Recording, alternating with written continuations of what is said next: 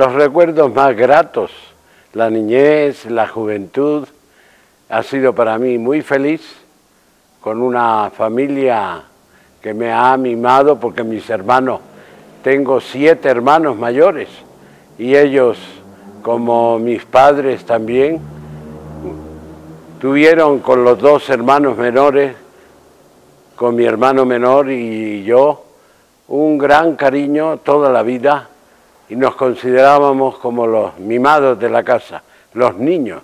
Éramos mayores y siempre éramos los niños.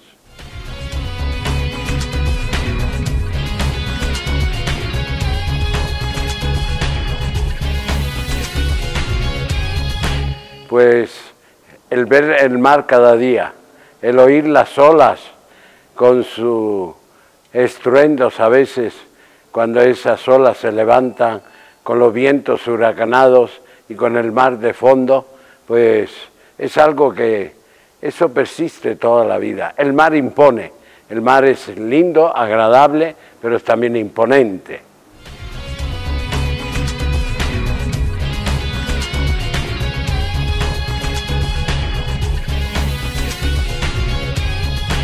Bueno, en años anteriores, algunos años he participado en el fútbol, pero ahora tengo el juego rocambor o tresillo, es un juego de cartas naipes españoles, es un juego de caballeros, se dice, es el juego rey de los juegos, se necesita pensar mucho y eso distrae totalmente la, la mente, jamás jugamos un centavo, se juega el honor, eso es lo importante.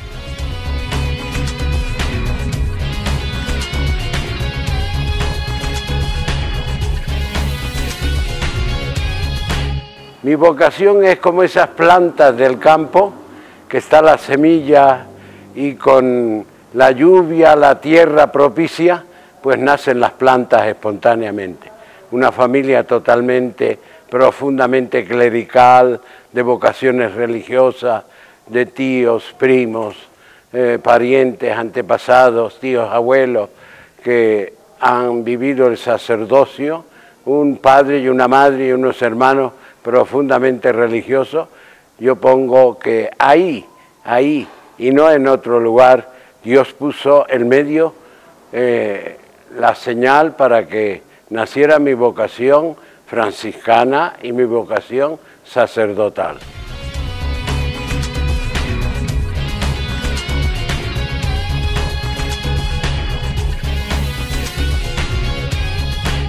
El seminario, pues esa alegría de la amistad, del compañerismo, eh, casi sin preocuparse nada de la vida, sino de vivir, intentar vivir con una gran ilusión.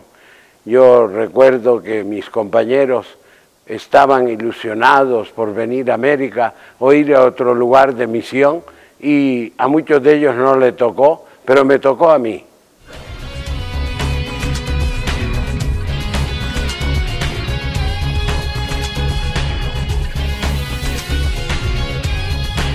Pues de sacerdote son 51 años.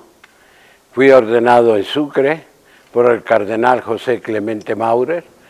He vivido en la Recoleta y participado en los estudios del seminario diocesano eh, San Cristóbal.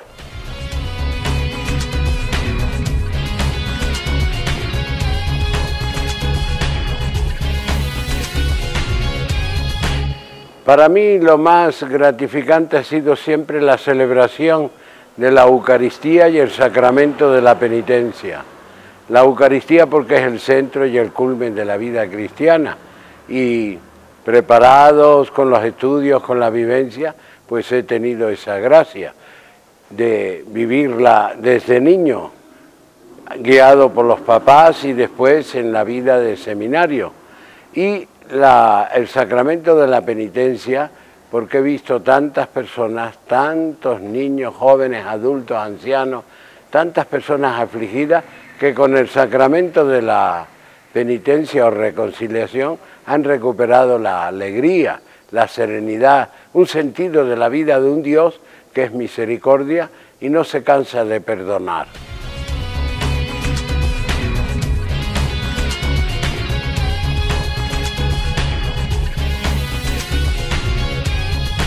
Bien, sin duda alguna es San Francisco de Asís, porque San Francisco es el que fundó a, los franciscanos y por San Francisco y por la admiración de él, que sigue igual hoy día, desde niño sentí el deseo de ser como Francisco, un franciscano más, y esperamos morir en esa alegría.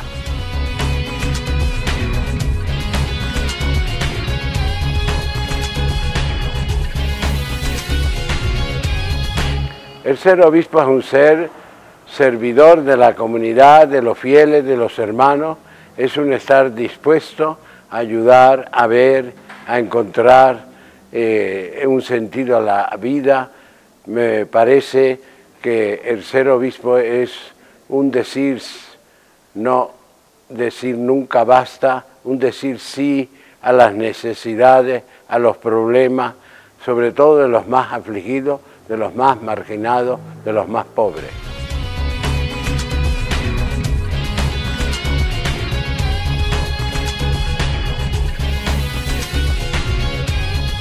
Bolivia es todo hoy día, porque desde joven de 24 años, sin terminar mis estudios de teología, vine a Bolivia un 26 de julio de 1960, llegué a las 9 de la noche al convento de Santa Ana de la Recoleta y nuevamente estoy ahí con mucha alegría.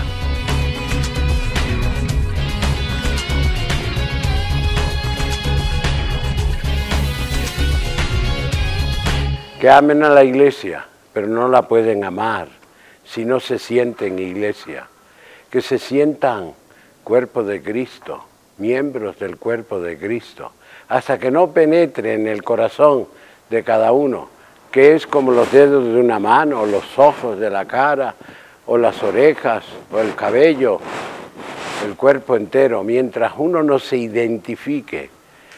E Isaías tiene una expresión muy linda, que es la expresión de la identificación de lo que es Él, de lo que ha hecho Dios con Él, y por eso nace también la misión, el sentido de la misión. Él dice, el Espíritu del Señor está sobre mí porque me ha ungido, que nos sintamos ungidos, santificados. Esto se inició en el bautismo. Y ungidos y santificados para ser santos, quiere decir ser buenos, para llevar un mensaje, el mensaje de la buena noticia, del Evangelio, de la ayuda del alivio a todos aquellos que se sienten oprimidos y sin el sentido de la vida.